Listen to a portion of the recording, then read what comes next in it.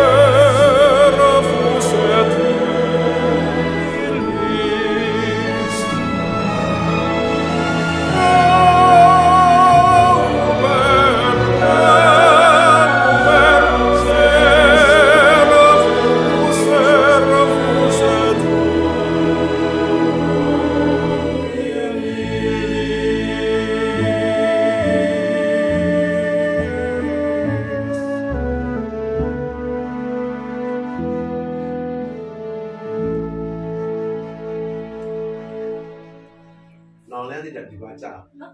Jadi lanjut. Bukan, kalau dibaca kan oh. panjang gitu. Ya. Oh, iya.